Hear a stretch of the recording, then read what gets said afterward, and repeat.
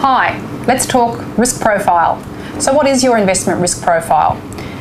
Your risk profile essentially relates to your attitude toward investment volatility and is really a measure of how comfortable you are with things like the possibility of negative returns on your portfolio, experiencing returns that might vary quite dramatically from year to year, um, and also the possibility that you may not achieve the returns that you need. Now, it's important to understand the expected investment risk and likely returns of each asset class or strategy that you put together, and also how this fits with your personal situation and your financial goals. Other factors to consider when we're helping you to establish your risk profile would be your willingness, or perhaps not, um, to accept the possibility of a negative return.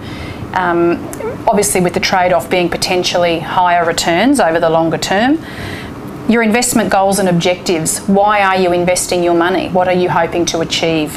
Um, your investment time frame. Um, after how many months or years are you going to need to access this money? What experience and understanding do you have of financial markets?